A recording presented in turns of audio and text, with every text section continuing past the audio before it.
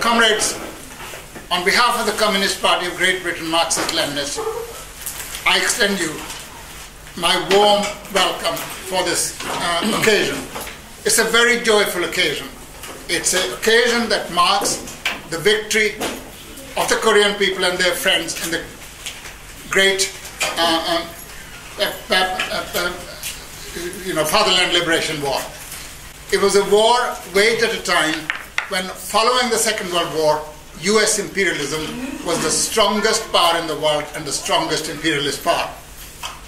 They thought North Korea, a small country, would be a walkover. And when they opened the door into North Korea, they had some wicked surprises waiting for them. Although the war was a terrible war, it cost 4 million Korean lives. I have been to Korea a number of times. I've seen the museums. I've seen the places where the Americans simply indulged in massacre after massacre. And yet, the fighting spirit of the Korean people was such. In the end, US imperialism was beaten and forced to sign an armistice whose 61st anniversary we are um, uh, celebrating today.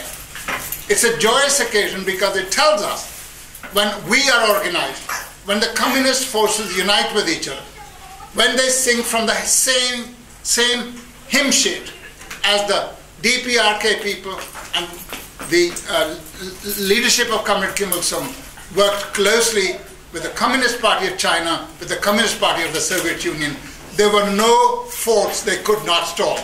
There were no. We are very glad that on this platform today is the representative of the Democratic People's Republic of Korea.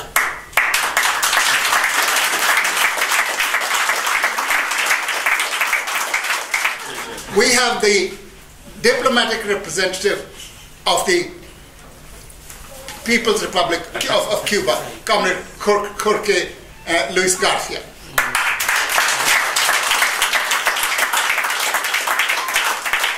And we've got a representative from the Chinese embassy, third secretary of the embassy, Comrade Han Wei.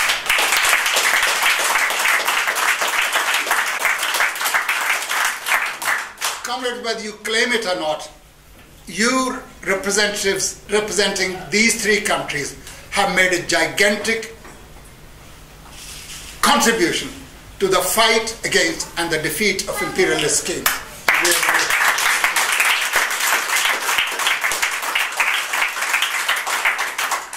It is, in that context you are, you are here, and we're very, very glad to have you.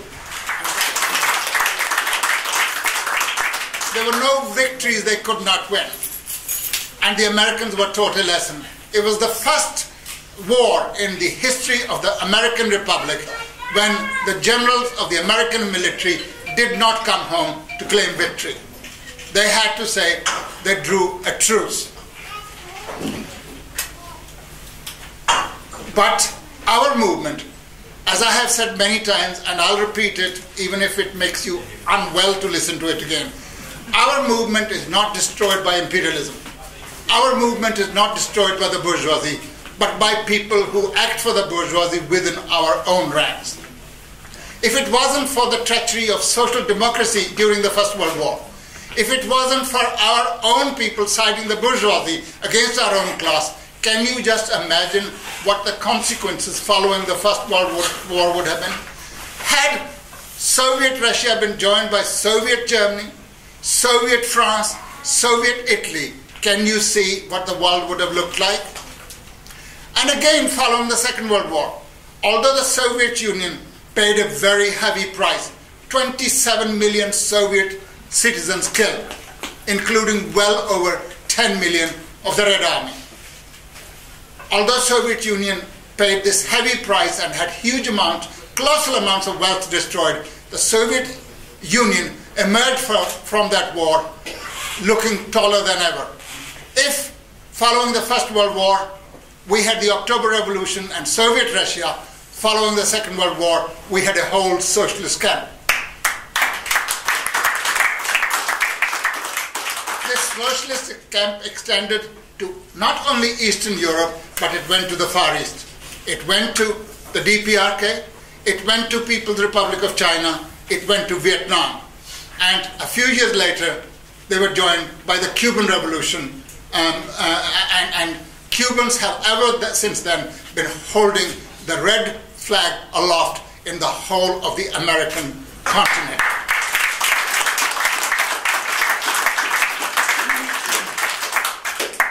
And Cuba is a perfectly good example which shows in the final analysis, victory is not entirely dependent on armament. It is dependent on people. When people have the motivation, when people have the politics, and they rely on the masses of people, they can resist the mightiest of imperialist powers. Can you just imagine living in a shark infested sea next to American imperialism 90 miles from Miami, and the Cubans stand aloft, and they do not take into consideration what America's attitude would be when they vote in the various, various world bodies. From the United Nations Human Rights Commission to the United Nations General Assembly, the Cubans vote on the correct side. It is a lesson. It is a lesson every socialist and non-aligned country needs to learn. If you turn the other way when your friends and fellow oppressed people are being attacked, don't be surprised if your turn comes. Our strength lies in our unity. Only united can we win.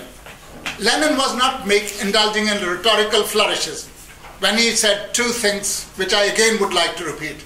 One was that the struggle of the proletariat in the centers of imperialism for its social liberation would be entirely useless the proletarians in Western Europe and America were not closely united with the hundreds upon hundreds of millions of people who are oppressed by their own ruling class in the colonies and semi-colonies.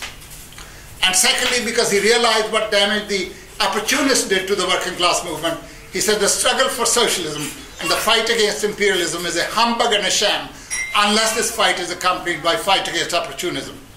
When we fight against opportunists of our own country, who say the Labour Party is the party of the working class, people tell us we're sectarians.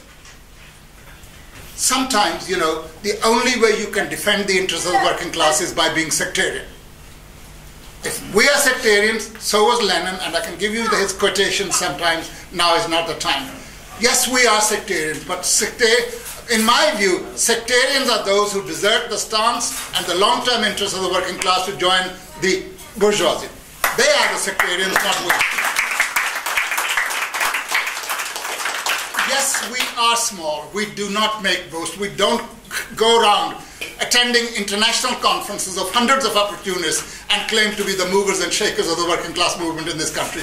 We're not. We're not very much connected with the working class movement but at least we're making an attempt to connect ourselves with the working class movement. Our enemies have, and our opponents have no connections with the working class movement, and what's more, they have cut all possibility of having connections with the working class movement because they passed the working class movement to the sole monopoly of the trade union, labor aristocracy, and their political representative, the Labour Party. We, on the other hand, want to rely on the masses of people. That's precisely ours is the only communist party in this country that is not only growing but is attracting young people. Look at the crowd here.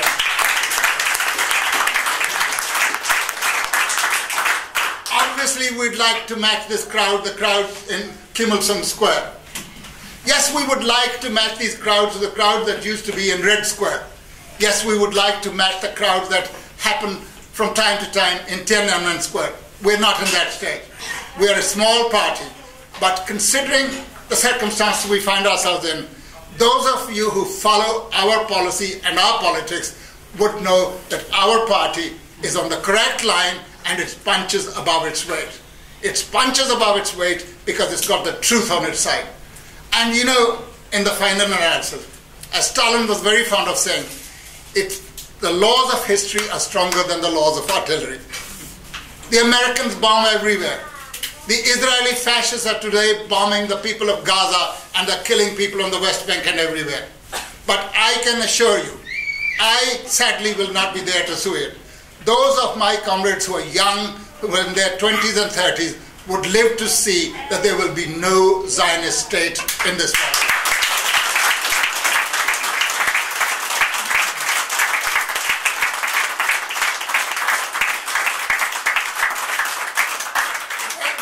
say this. Opponents, and of course the Zionists, say we are anti Semites. It is a foul lie. We are not anti Semites. We're the only people who defend the genuine interests of the Jewish as well as non Jewish people. Does it make sense to steal other people's land, to bring Jews of all nationalities and nations into, and concentrate them into this ghetto so one day they might become the target of the wrath of the people of those countries? Israel is not a Jewish project. It's an imperialist project. It's conceived. It's, it's conceived by imperialism. It's sustained by imperialism. And the day imperialism does not want it to exist, it won't exist. And the only country where the, the, the, this, this project still gets a marginal majority of people supporting is the United States of America. But that is changing as well. You look around in Europe, you find increasing number of people, including sensible Jews, are joining demonstrations against the Israeli onslaught in, in, in, uh, against the people of Gaza. The very people who tell us they're fighting for democracy in Syria, the very people who will tell you they're fighting for democracy in Ukraine, but they're fighting for democracy everywhere except where it needs to be fought for. Gaza has been an open prison the largest prison and the prison that has been longest in existence. People are, Israelis say they've left Gaza. They've never left Gaza. They blockaded it from all sides and they blockaded it from the air. They kill at will and they are not, there's no soldiering honor in what the Zionists do. There's no soldiering honor with, with what the British, French, and American armies do. Because they're not fighting against their equals. When the Nazis fought in the Second World War, whether we hate Nazis or not, there was some soldiering honor because they were confronting powerful enemies of theirs. Soviet Union most of all, and at some stages Britain, at some stage in the United States of America. And so they had to risk their life to go. Our gallant pilots are, are firing from several miles above the sky against people who have absolutely no defense. And it's shame on them. It's shame on them that there are pilots in these armies who actually bomb women, children, destroy their homes, and come home to have a nice meal with their families and be loving fathers and husbands and whatever the case, the case may be. No person with any sense of shame could ever go, go along with that. Our party says all these things. Our party, as a result, does two things. It earns the wrath and hatred of our enemies, which is how we like.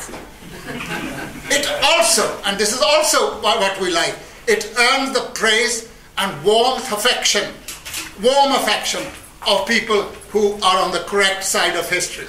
And we will not change our line for any amount of bribery, for any reasons of threats, cajolery, we will, we will not do that. We are very glad that on this platform today is the representative of the Democratic People's Republic of Korea.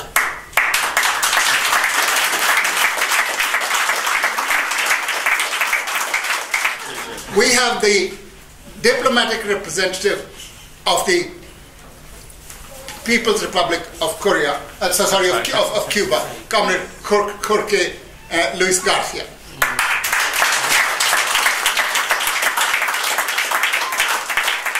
And we got a representative from the Chinese embassy, third secretary of the embassy, Comrade Han Wei.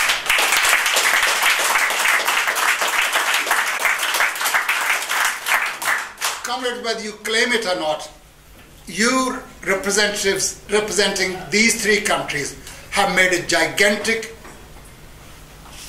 contribution to the fight against and the defeat of imperialist schemes.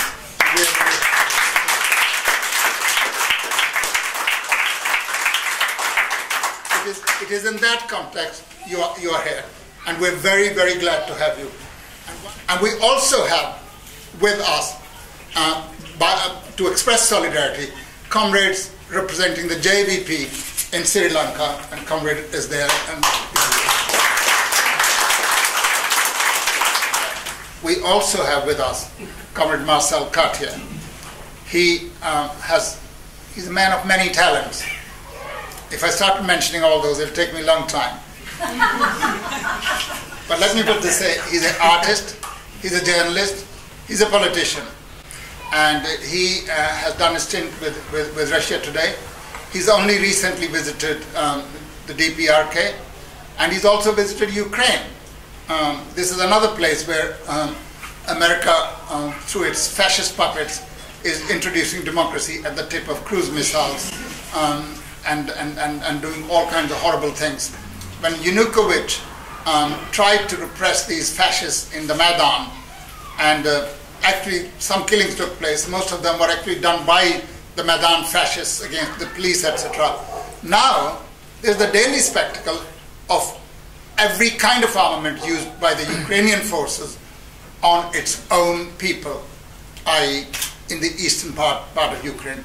They've killed over 400 people, and there's no end in sight. But the people of Ukraine, uh, in eastern Ukraine at least, are fighting heroically. And we wish them success and we send our solidarity greeting to them from here. Once may again, may I thank our honored guests for being here and sparing the time, and especially the Koreans, the whole of the embassy and their families are represented. Can I wel welcome the families here as well who are sitting at the back? A representative of the People's Daily of China, Comrade Huang Pizhao, was here along with his wife. He had to leave and gives his apologies, but we'd like to mention and thank him for coming here. And once the Chinese, of course, announce that something is happening here, 20% of humanity comes to know something is happening here. Lastly, before I sit down, I'd like to thank all of you for coming here. I'd like to thank our cooks who cooked the food, people who helped us with the barbecue.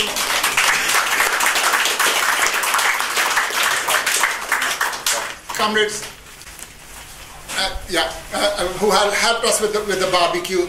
Comrade Chima and Joga have cooked Indian food, which some of you like, which some of you don't, but there was other food to be, to be had. And they made, made this occasion a mar mar marvelous occasion.